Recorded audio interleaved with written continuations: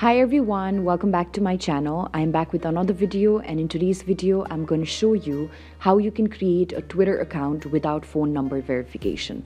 So if you already have a Twitter account and you want to create a new account and you want to create it without using your phone number, this is what you can do. First of all, head over to your Twitter app and then now what you have to do is you have to create your account. So here I'm just going to type in the name and then type in either your phone number or email address. Since you don't want to be doing this with your phone number, tap on use email instead and then type in your email address. After doing that, type in your date of birth and then tap on next.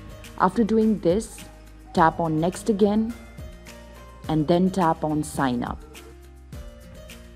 Now here it says that a certain verification code has been sent to your Gmail so go and check that particular verification code and see if Twitter has sent you any kind of code. So here I'm waiting for the code. And as I am being directed towards the tweet, Twitter sent email, I have my verification code received. So here I'm just going to copy the code and then go back to Twitter, paste the code and then tap on next. After doing this, it says that you'll need a password. So I'm just going to set up a password.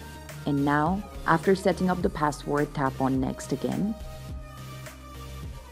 And then you can either have a profile picture or skip for now. So I'm just going to skip it. You can also describe yourself or skip for now. I'm going to tap on skip for now. Sync contacts or later. So tap on not now. And then you'll also have to give Twitter what you would be interested in but it says that currently not, there's nothing to show so tap on next. And now here are certain suggestions for you to follow. You can either follow or tap on next directly.